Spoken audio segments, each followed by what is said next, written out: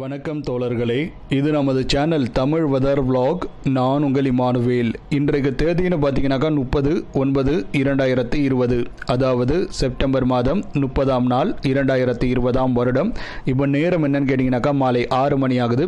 கடந்த குரல் பதிவில் நான் பதிவு பண்ணுகையிலேயே நான் குறிப்பிட்டு சொல்லியிருந்தேன். அடுத்த குரல் பதிவில் இரண்டாயிரத்தி இருபதாம் ஆண்டு தென்மேற்கு பருவமழை தமிழகத்தில் எந்த அளவு பதிவாகி இருக்கிறது அப்படிங்கிறது தொடர்பாக ஒரு காணொலியை நான் பதிவு பண்ணுறேங்கிற மாதிரி. அந்த காணொளி தான் இந்த காணொலி ஸோ இந்த காணொளியின் வாயிலாக நான் இரண்டாயிரத்தி இருபதாம் ஆண்டில் தென்மேற்கு பருவமழை தமிழகத்தில் எந்த அளவு பதிவாகி இருக்கிறது?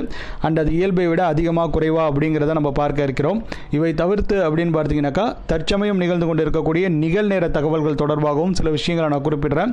அதாவது சில நிமிடங்களுக்கு முன்பாக பதிவாகி இருக்கக்கூடிய செயற்கைக்கோள் மற்றும் ரேடார் படங்களை அடிப்படையாக கொண்டு தமிழகத்தில் தற்சமயம் எந்தெந்த பகுதிகளில் மழை மேகங்கள் பதிவாகி கொண்டிருக்கிறது உள் மாவட்டங்களில் மற்றும் அதனுடைய அடுத்த கட்ட நகர்வுகள் தொடர்பாகவும் இந்த காணொளியின் இறுதியில் நான் பதிவு பண்ணுறேன் இப்போ நம்ம நேரத்தை விரயமாக்காமல் நேரடியாக காணொலிக்குள்ளே போயிடலாம்.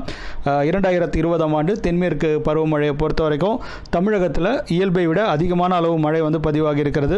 ஸோ நம்ம இந்த இயல்பான அளவுங்கிறது இந்த காலகட்டத்தில் அதாவது ஜூன் ஒன்று முதல் செப்டம்பர் முப்பது வரை இடைப்பட்ட இந்த காலகட்டத்தை தான் நம்ம தென்மேற்கு பருவமழை காலகட்டம் அப்படிங்கிற மாதிரி வழங்குவோம்.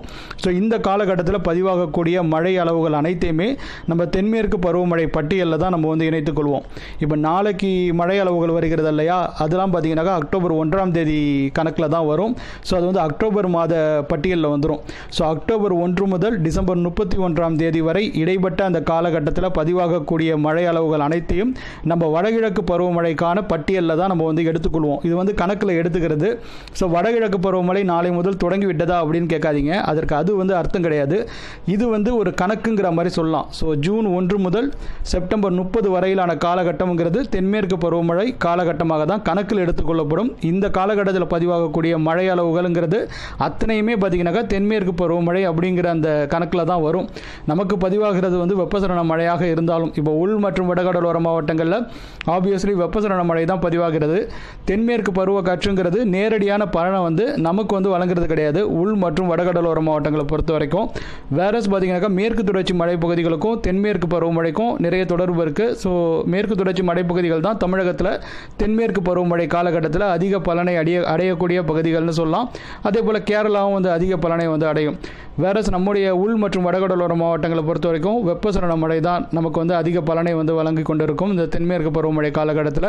இது தொடர்பாக நம்ம டீட்டெயில்டாகவே முன்னதாகவே நம்ம வந்து டிஸ்கஸ் பண்ணியிருக்கோம். பட் இங்கே பதிவாகிறது வெப்பசலன மழையாக இருந்தாலும் இது தென்மேற்கு பருவமழை காலகட்டத்தில் பதிவாகிறதுனால இது தென்மேற்கு பருவமழை பட்டியலில் தான் இது வந்து இடம்பெறும்.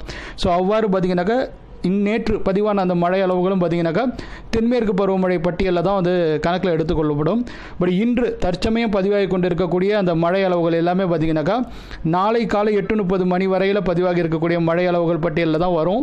ஸோ அது வந்து அக்டோபர் ஒன்றாம் தேதி ஆகிறது. ஸோ அது வந்து வடகிழக்கு பருவமழை காலகட்ட பட்டியலில் தான் அது வந்து கணக்கில் எடுத்துக்கொள்ளப்படும் ஸோ இன்றுடன் அதாவது நேற்றுடன் சொல்லலாம் ஸோ நேற்றுடன் பதிவான மழைங்கிறது உங்களுக்கு வட தென்மேற்கு பருவமழை காலகட்டத்தில் பதிவாகி இருக்கக்கூடிய மழை பட்டியலில் இடம்பெற்றிருக்கும். ஸோ அதன்படி பார்க்கையில் கிட்டத்தட்ட நமக்கு நானூற்றி இருபத்தி நாலு மில்லிமீட்டர் அளவு மழை வந்து ஒட்டுமொத்த தமிழகத்திற்கும் கிடைத்திருக்கிறது. அதை இந்த காணொலியின் வாயிலாக பதிவு பண்ணிக்கிறேன். இந்த தென்மேற்கு பருவமழை காலகட்டத்தில் அதாவது ஜூன் ஒன்று முதல் செப்டம்பர் முப்பது வரையிலான இந்த இடைப்பட்ட காலகட்டத்தில் நமக்கு நானூற்றி இருபத்தி நாலு மில்லிமீட்டர் அளவு மழை ஒட்டுமொத்தமாக கிடைத்திருக்கிறது தமிழகம் மற்றும் புதுச்சேரியில். வேரஸ் பார்த்தீங்கன்னாக்கா இயல்பான அளவுங்கிறது முந்நூற்றி நாற்பத்தி இரண்டு மில்லிமீட்டர் இந்த காலகட்டத்தில் அதாவது தென்மேற்கு பருவமழை காலகட்டத்தில் நமக்கு இயல்பான அளவு முந்நூற்றி நாற்பத்தி ரெண்டு மில்லிமீட்டர் அளவு மழை வந்து நமக்கு வந்து கிடைக்கும் அப்படிங்கிற மாதிரி தான் நம்ம அர்த்தம். இது வந்து ஒரு லாங் டைம் ஆவரேஜ் அப்படிங்கிற மாதிரி கணக்கெடுத்திருப்பாங்க. இதற்கு முந்தைய காலகட்டத்தில் ஒரு குறிப்பிட்ட வருடங்களில் எந்த அளவுக்கு மழை வந்து பதிவாக இருக்கிறது அதனுடைய ஆவரேஜ் தான் இது. அது வந்து ஒரு மீன் மாதிரி எடுப்பாங்க. ஒரு மீன் வேல்யூன்னு சொல்லலாம். அது பார்த்தீங்கன்னாக்கா முந்நூற்றி நாற்பத்தி ரெண்டு மில்லிமீட்டர் ஸோ இதுதான் வந்து இயல்பான அளவு. இதனுடன் ஒப்பிடுகையில் இந்த நானூற்றி இருபத்தி நாலு மில்லிமீட்டருங்கிறது கிட்டத்தட்ட இருபத்தி நாலு சதவீதம் கூடுதல் அப்படிங்கிற மாதிரி சொல்லலாம். ஸோ தமிழகத்தில் இரண்டாயிரத்தி இருபதாம் ஆண்டு தென்மேற்கு பருவமழையானது இருபத்தி நாலு சதவீதம் அதிகம் பதிவாகி இருக்கிறது அப்படிங்கிறத இந்த காணொலியின் வாயிலாக நான் வந்து பதிவு பண்ணிக்கிறேன். இதில் வந்து அதிகமாக பலனடைஞ்ச பகுதிகள்னு பார்த்தீங்கன்னாக்கா மேற்கு தொடர்ச்சி மழை பகுதிகள் தான் ஆப்வியஸ்லி குறிப்பாக நீலகிரி மாவட்டத்துடைய மேற்கு பகுதிகள் அதிக பெனிஃபிட் வந்து அடைஞ்சிருக்கும். அதே போல் வால்பாறை சுற்று வட்டார பகுதிகள் உட்பட கோவை மாவட்டம் மேற்கு தொடர்ச்சி மலைப்பகுதிகள் கன்னியாகுமரி மாவட்டத்துடைய மேற்கு தொடர்ச்சி மலைப்பகுதிகளும் அதிக பெனிஃபிட்டை வந்து அடைந்திருக்கும் இந்த காலகட்டத்தில் நிறைய மழை அந்த இடங்களில் வந்து சிறப்பாக பதிவாகி இருக்கிறது. தென்மேற்கு பருவமழை வீரியமாக இருக்கக்கூடிய காலகட்டத்தில். வேற உள் மாவட்டங்கள் மற்றும் வடகடலோர மாவட்டங்கள்லையும் சொதப்புல அப்படிங்கிற மாதிரி தான் சொல்லணும். பல்வேறு இடங்களிலும் சிறப்பான மழை வந்து பதிவாகி இருக்கிறது. நம்முடைய சென்னை மாநகரில் குறைவு குறைவு அப்படின்னு சொல்லிட்டு இருந்தோம் சொல்லிட்டு இருந்தாங்க. சொல்லிட்டு இருந்தோம் அப்படின்னு கூட சொல்லலாம். சில வாரங்களுக்கு முன்பு வரை. பட் வந்து இப்போ இருக்கக்கூடிய அந்த ஸ்டாட்டிஸ்டிக்ஸ் வந்து அப்படி காட்டலை அப்படி இல்லை.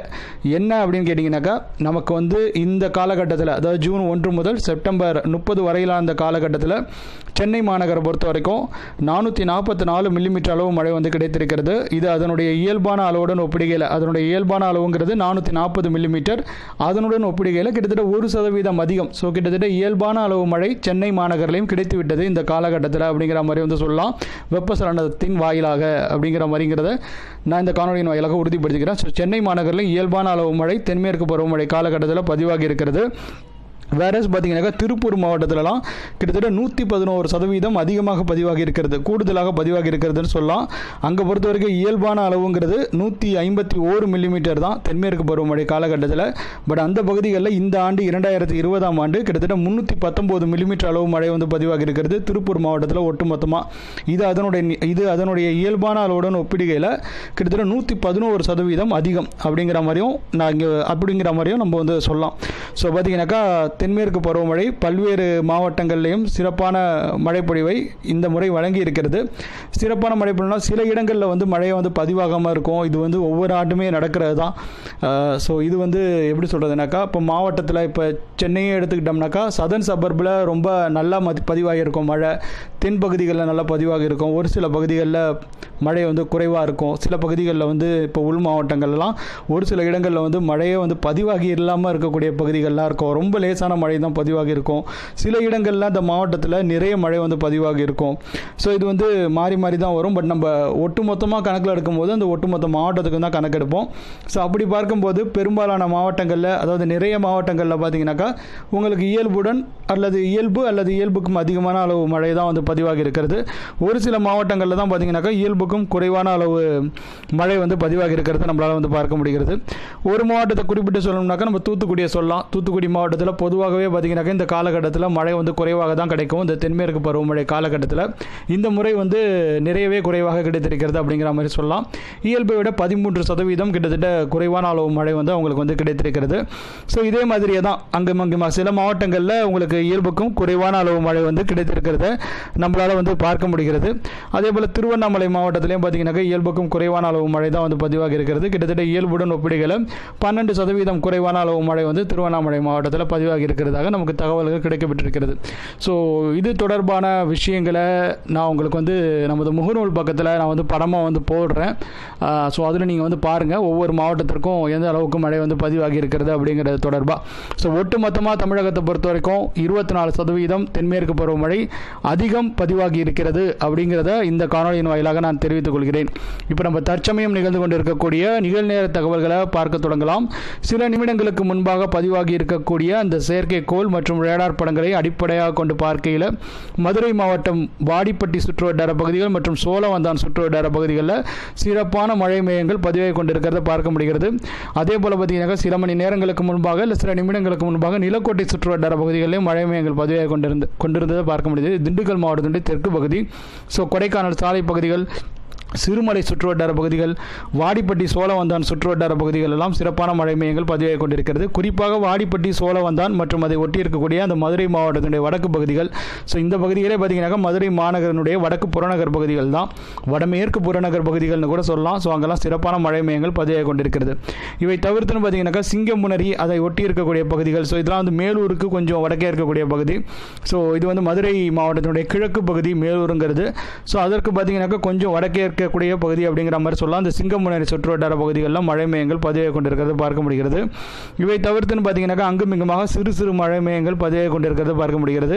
அண்ட் சிதம்பரம் சுற்றுவட்டார பகுதிகளில் சிதம்பரம் சீர்காழி இடைப்பட்ட பகுதிகளில் சிறப்பான மழை மையங்கள் சில இடங்களில் பதிவாகி கொண்டிருக்கிறது. தற்சமயம் கொள்ளிடம் சுற்று வட்டார பகுதிகளெல்லாம் மழை வந்து பதிவாகி கொண்டு தான் இருக்கணும். அதில் மாற்று கருத்து இல்லை.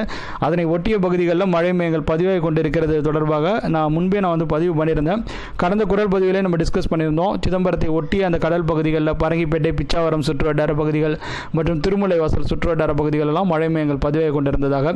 அது அந்த கடல் பகுதிகளை விட்டு ரொம்ப தூரம் விலகிலாம் போக மாட்டேங்குது. ஸோ அந்த இடத்துல தான் இருக்குது ஸோ அதனால் உங்களுக்கு காரைக்கால் மாவட்டத்தின் சில இடங்களில் மழை பதிவானாலும் ஆச்சரியப்படுறதுக்கு இல்லை அப்படிங்கிற மாதிரி தான் சொல்லணும். ஸோ அந்த மழை மேகங்கள் தற்சமயம் சிதம்பரம் சீர்காழி இடைப்பட்ட பகுதிகளில் மழைப்பொழிவை ஏற்படுத்தி கொண்டிருக்கிறது. அடுத்த சில நிமிடங்களில் அடுத்த சில மணி நேரங்களில் காரைக்கால் தரங்கம்பாடி சுற்றுவட்டார பகுதிகள் உட்பட காரைக்கால் மாவட்டத்தின் சில இடங்களிலும் மழை வந்து பதிவாகலாம். நாகை மாவட்டத்தின் சில இடங்களில் மழை பதிவானாலும் மகிழ்ச்சி கொள்ளுங்கள் அப்படிங்கிற மாதிரி தான் சொல்ல முடியும். ஏன்னா மழை மேயங்கள் அப்படி தான் இருக்குது. அது கடல் பகுதியை விட்டு ரொம்ப தூரம் தள்ளி போக மாட்டேங்குது. ஸோ அது வந்து ஆப்வியஸ்லி காரைக்காலை ஒட்டிய கடல் பகுதிகளில் நீண்ட நேரமாக அது நிலை கொண்டு இருந்தது இன்னும் சற்று நேரத்தில் அது வந்து இன்னும் சற்று நேரத்தில் அது வந்து காரைக்கால் உள்ளே என்ட்ராகிறதுக்கும் பாசிபிலிட்டிஸ் இருக்குது. ஏன்னா அது சிதம்பரம் சீர்காழி பகுதிகள் அதை ஒட்டிய கடல் பகுதிகளில் இருந்த மழை மேகங்கள் உள்ளே என்ட்ராயிருக்கு ஸோ இந்த மழை மேகமும் என்ட்ராகும் அப்படிங்கிற மாதிரி நம்ம வந்து எக்ஸ்பெக்ட் பண்ணலாம். ஸோ காரைக்கால் மாவட்டத்திலையும் பல்வேறு இடங்கள்லையும் மழை வந்து பதிவாகலாம். அடுத்த சில மணி நேரங்களில் அதில் மாற்று கருத்தே கிடையாது. நாகப்பட்டினம் மாவட்டத்திலையும் சில இடங்களில் மழை பதிவானால் நீங்கள் மகிழ்ச்சி கொள்ளுங்கள் அப்படிங்கிற மாதிரி தான் பதிவு பண்ண முடியும்.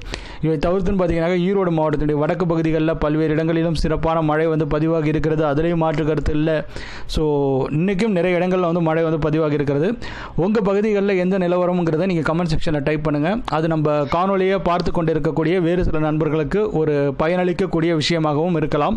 ஸோ அவ்வளோதான் இந்த காணொலி உங்களுக்கு பயனுள்ளதாக இருந்திருக்கும்னு சொல்லிட்டு நான் நம்புகிறேன் தென்மேற்கு பருவமழை இயல்புக்கும் அதிகமான அளவு மழை ஒட்டுமொத்த தமிழகத்திலும் பதிவாகி இருக்கிறதுங்கிறதுல மாற்று கருத்து கிடையாது. இருபத்தி நாலு சதவீதம் கூடுதலாக பதிவாகி இருக்கிறது இந்த காணொலி உங்களுக்கு பயனுள்ளதாக இருந்திருக்குங்கிற பட்சத்தில் இந்த காணொலியை நீங்கள் லைக் பண்ணுங்கள் உங்கள் ஃப்ரெண்ட்ஸ் கூட ஷேர் பண்ணுங்கள் அண்ட் மறக்காமல் நம்முடைய தமிழ் வெதர் விலாக் யூடியூப் பக்கத்தை நீங்கள் சப்ஸ்கிரைப் பண்ணிக்கோங்க.